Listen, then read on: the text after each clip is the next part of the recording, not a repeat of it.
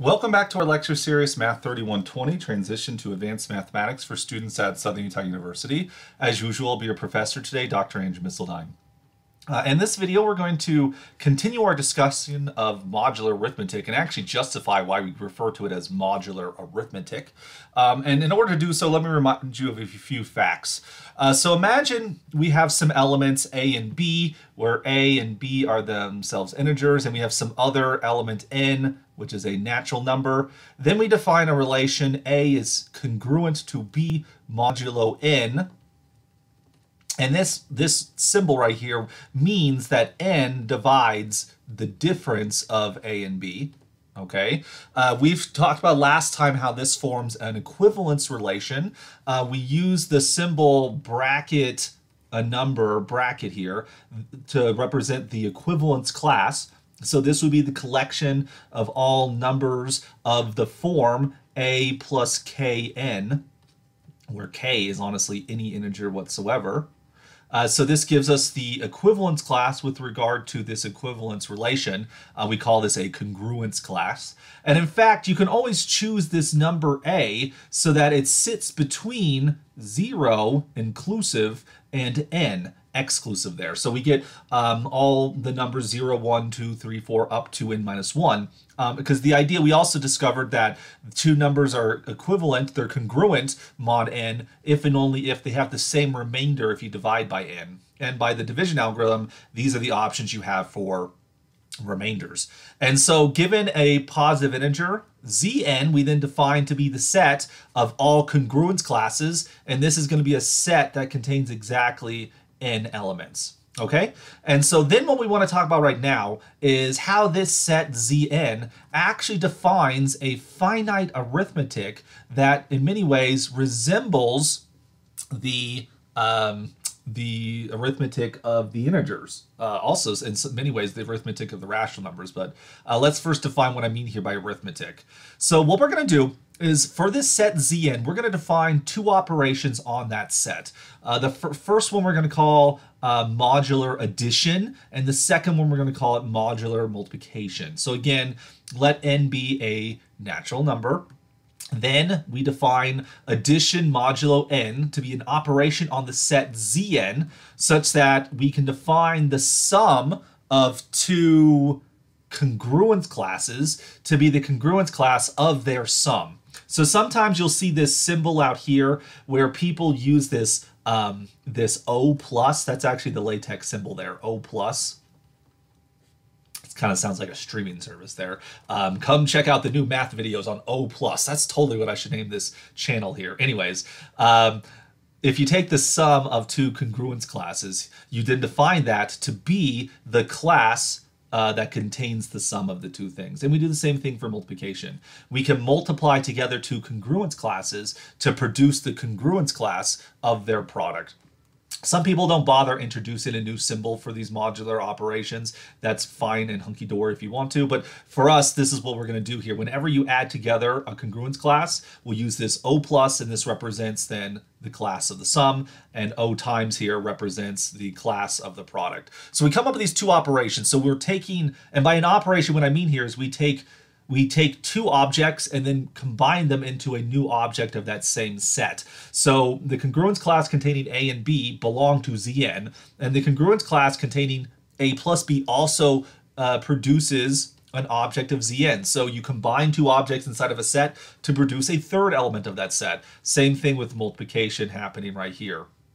Now, with an operation, it's customary, especially with finite operations, to actually arrange all the symbols in a table format. Uh, so I want to explain what this means right here. So look at this addition table uh, with respect to modulo 5.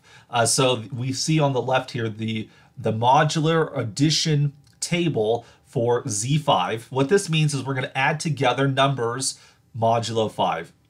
And so how you read this is the rows right here represent the the summand on the left, and then these elements right here that denote the columns, this represents the second operand. And so if you were to look at a specific place in the table, like take this number right here, this number, if you look at the row, if you look at the column, what this tells us is that 2 plus 3 is equal to 0. And we're thinking of these as congruence classes. All right, so the congruence class of 2 plus the congruence class of 3 is equal to the congruence class of 0. But of course, this notation can get awkward really quickly. So most likely how we would write it would be is 2 plus 3 is congruent to 0 mod 5.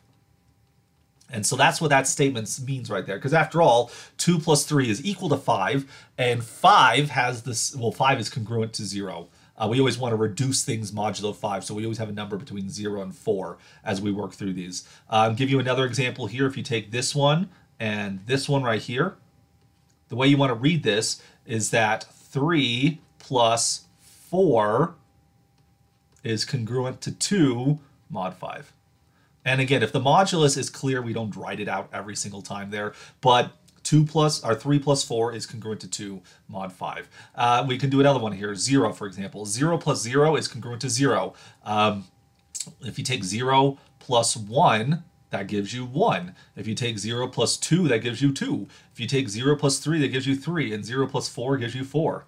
So something to notice here is that 0 has the property that if you add 0 to any any number m, you always get back m mod whatever, right? And so modular arithmetic does in fact have a uh, an additive identity element. We'll say some more about this in a second.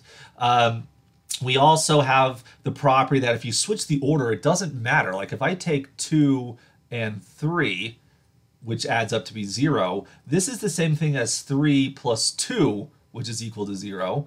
Um, this operation of addition turns out to be commutative. Um, you can actually see this from the table here because after all, we take 3 plus 2 versus 2 plus 3, um, you get the exact same number. Like if you reflect across the diagonal, you always end up with the same number things like that. Um, there's other properties here. We'll talk about those in a moment. The, the, other properties are a little bit less obvious when it comes to the table here. But again, if you take something like 2 plus 1, this is congruent to 3. Uh, but if we take something like 4 plus, uh, 4 plus 3, that's congruent to 2. Um, and the idea there is 4 plus 3 is equal to 7. If you reduce 7 mod 2, you get a rem sorry, mod 5, you get a remainder, which is then 2. And that's how these calculations are. You just compute the number as a regular integer.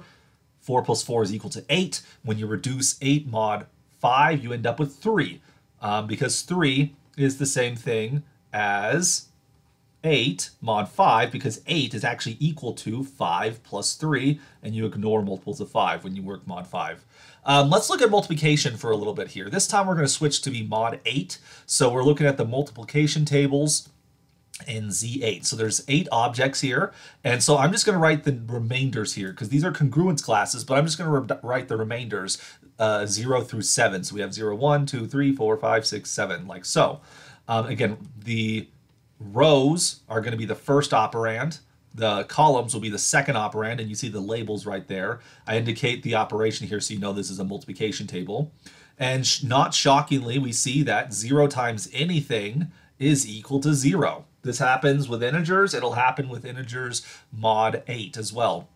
We also can see that 1 acts like a multiplicative identity. Notice how you look at the index row right here. It tells you which column you're in. That's identical to this row right here. 1 times anything, so 1 times m is going to be congruent to m mod n. And so 1 acts like a multiplicative identity for modular multiplication, much in the same way that it does for integers as well.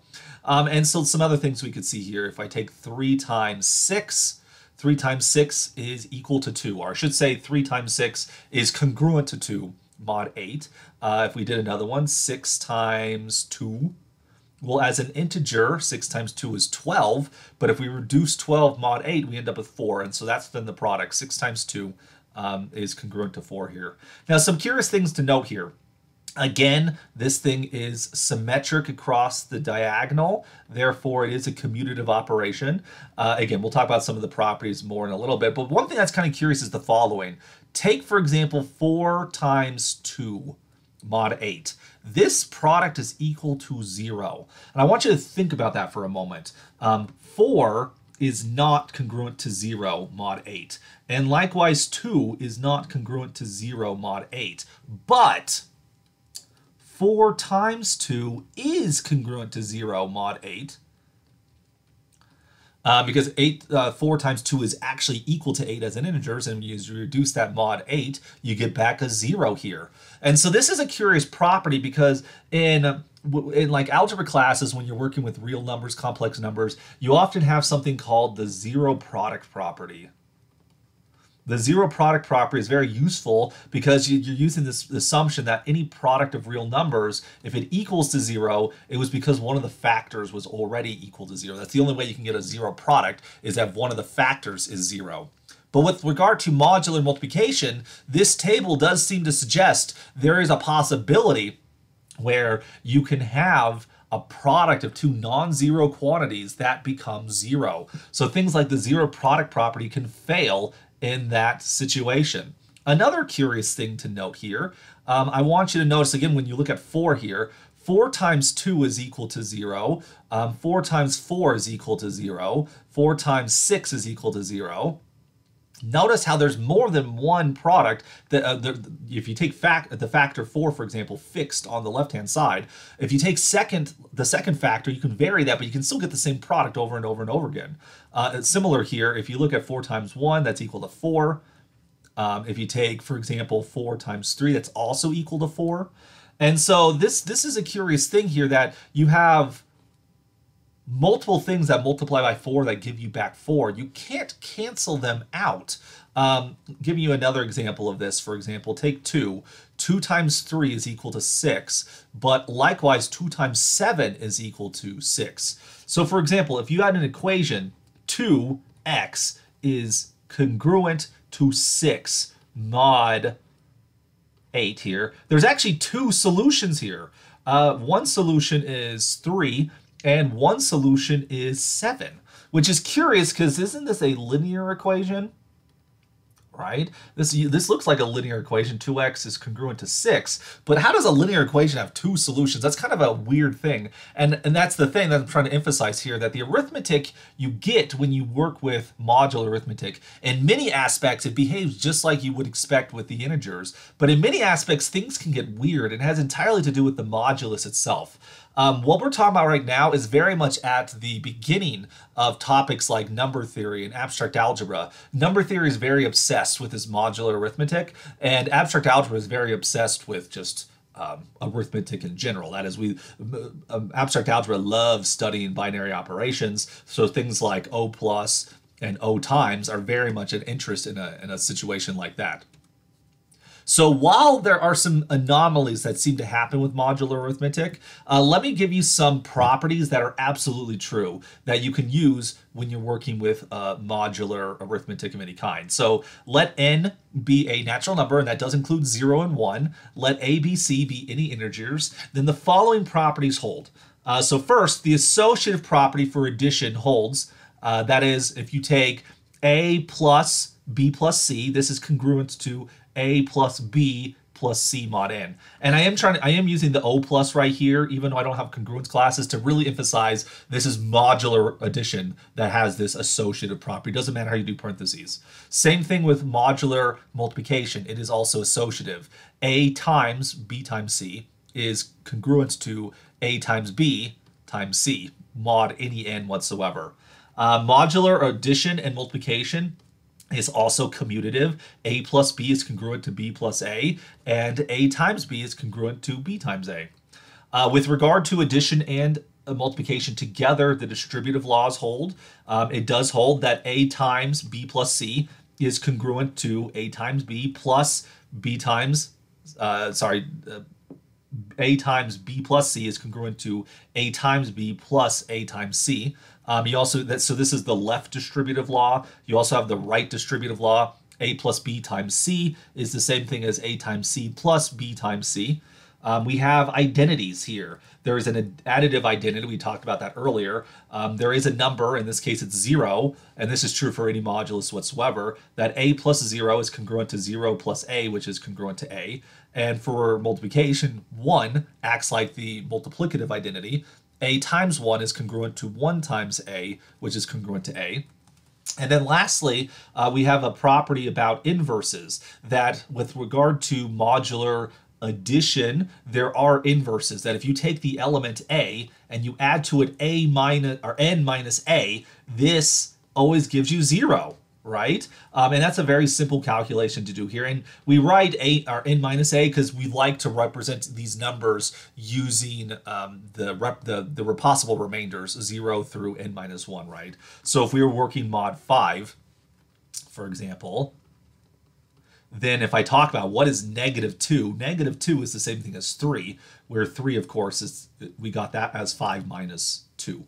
5 minus 2 is 3, so you always get an additive uh, number, uh, an additive inverse here. So even though we, we keep our numbers in the non-negative representations, um, we can actually think of modular arithmetic includes negative numbers as well. Negative 2 is the same thing as positive 3 when you work mod 5.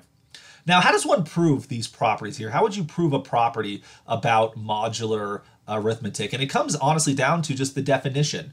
If you want to prove that these two things are congruent to each other, it's like, well, the congruence is an equivalence relation. So to show the additive principle here, the uh, additive associativity, you would have to show that the difference of these two numbers, this number minus that number, is divisible by n. All right, so Here's the proof of modular associativity of addition. So consider the number a plus b plus c minus a plus b plus c.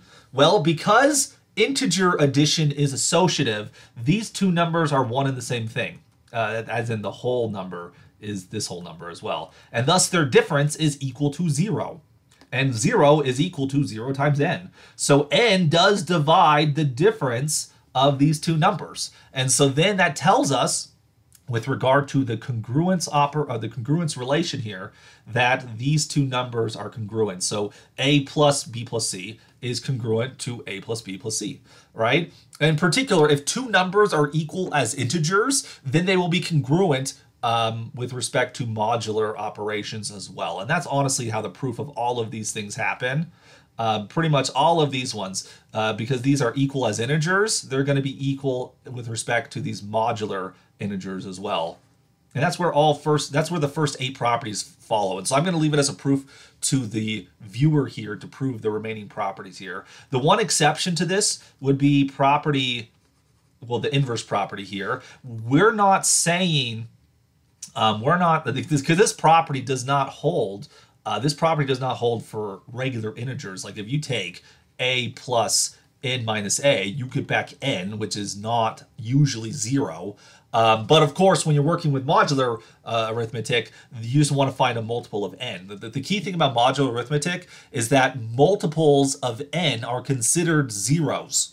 And so we can get away with that here. What about the gap right here? Why wasn't there a, a multiplicative inverse property here? Well, it turns out there are some problems when it comes to um, modular division. Now, I should say there does exist such a thing as modular subtraction. Um, we can do an O minus, right? So what does it mean to take the congruence class of A and minus from it the congruence class of B? Well, clearly you see that this should be defined to just to be A minus B, right? Um, but this could be problematic, right? Is this is this number A minus B going to be a number uh, that's within the range 0 through n minus 1? Well, maybe, maybe not. It doesn't matter, though. This, con this congruence relation is defined for any integers. So we can define modular subtraction, no big deal. But if you were concerned whatsoever, um, the key thing here is modular subtraction is really just modular addition but we're looking at the inverse, right? So what does it mean to subtract? Well, subtraction is just adding a negative, which is really adding inverses. If you have additive inverses, then you have subtraction, okay? But what about division? Division can be problematic because if I'm trying to define something like we're going to take A divided O divide uh, by B, you would want that to be like A divided by B. But the thing is, A divided by B itself is li- is likely not an integer, and therefore this this nonsense this is nonsense. Like that symbol doesn't necessarily mean anything. But it turns out there are situations for which we can divide um, we can divide integers in a modular fashion. it turns out that we do get multiplicative inverses exactly when the number a and the modulus n are relatively prime with each other. So the number a has a multiplicative inverse inside of zn if and only if the GCD of the numbers a and n is equal to 1. And the reason for that basically comes down to the Euclidean algorithm, okay? If the GCD of a and n is equal to 1, that means there exist integers r and s such that ar plus ns is equal to 1. This is given to us by the Euclidean algorithm. But if I take this, 1 is equal to ar plus ns, this second number, ar plus ns, is clearly congruent to ar when you look at mod n here, because you can kill off the multiple of n. Therefore, we have a number, r, which when times by a gives you back the multiplicative identity. This is exactly what one means by a multiplicative inverse. And these directions go in both directions if and only if. And so therefore, integers that which have a GCD equal to 1 to to the modulus. That is, those integers which are co-prime to the modulus, um, they have inverses. And in fact, the Euclidean algorithm tells you what that inverse is going to be. The inverse, the multiplicative inverse, is the coefficient that you connect to A with this linear combination. If you can find a linear combination of A and the modulus that equals 1, you then have the inverse. And I want to show you how you can use this to then solve modular equations. So consider the equation 2x plus 1 is congruent to 5 mod 7. How would you solve this for x? And so we're going to go back to some fundamental algebraic observations here. If I wanted to solve the equation 2x plus 1 equals 5, well, the first thing I would do is I would add negative 1 to both sides. Why am I adding negative 1? Because negative 1 is the inverse of 1, so we're going to add negative 1 to both sides, okay? On the right-hand side, you're going to take 1 plus, sorry, 5 plus negative 1, which gives you 4, mod 7. On the left-hand side, we use the associative property to redo parentheses, so that 2x plus 1 plus negative 1 becomes 2x plus 1 plus negative 1. Now 1 and negative 1 are additive inverses. They simplify to be 0. And 0 is the additive identity. So if I add 0 to 2x, I just get back 2x. So now we have the, the simplified equation. 2x is congruent to 4 mod 7. Those, those properties we used beforehand, the inverse axiom, the identity axiom, the associativity axiom, they allow us to get rid of the 1 on the left-hand side to help us solve for this. Now, if we want to get rid of the 2, we have, you know, I, when I say get rid of the two, we want to move the two to the other side of the equation, much like how we move the one to the other side of the equation. In order to do that, we need to have inverses, associativity, and identities. Now, for multiplication, we do have associativity, we do have identities, but do we have inverses? Sometimes, sometimes not. But you'll notice that 2 is co-prime to 7. The GCD of 2 and 7 is equal to 1. So the uh, by the Euclidean algorithm, there does exist a number, uh, there, there exists a linear combination of 2 and 7 that gives you 1. And you can either run the Euclidean algorithm or a little bit of guess and check. You can see here that 4 times 2, which is 8, minus 1 times 7 will give you 1. 8 minus 7 is equal to 1 here. And so this tells us that the multiplicative inverse of 2 mod 7 is 4. 2 to the negative 1 power is congruent to 4 here. So if I multiply both sides of the equation by 4, this is going to cancel out the 2. And let's see the details of this thing here. So I'm going to times both sides by 4. On the right-hand side, you're going to get 16. 4 times 4 is 16. 16, of course, is the same thing as, well, 16 is the same thing as 2 plus 14. 14 is a multiple of 7. So 16 and 2 are congruent to each other. All right. On the left-hand side, though, we're going to take 4 times 2x. By associativity, you get 4 times 2 times x. 4 times 2 is 8, but 8 is congruent to 1 mod 7, because again, 8 is equal to 1 plus 7. Ignoring multiples of 7, we end up with just a 1 there. And so we were able to solve this multiplication or this this linear equation because we had a multiplicative inverse. That example we were looking at earlier when we were working mod 8, we had a problem with 2x is congruent to what was with 3, something like that, or 6 was what it was.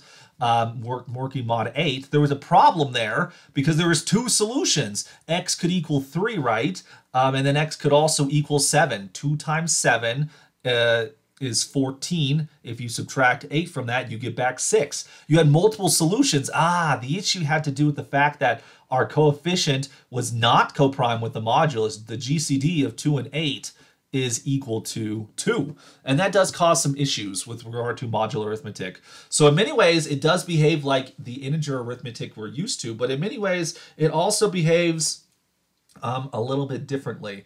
And that's about as far as we're going to get in this lecture series with regard to modular arithmetic. Um, I want to introduce it so we can use this as a toy to prove some facts about.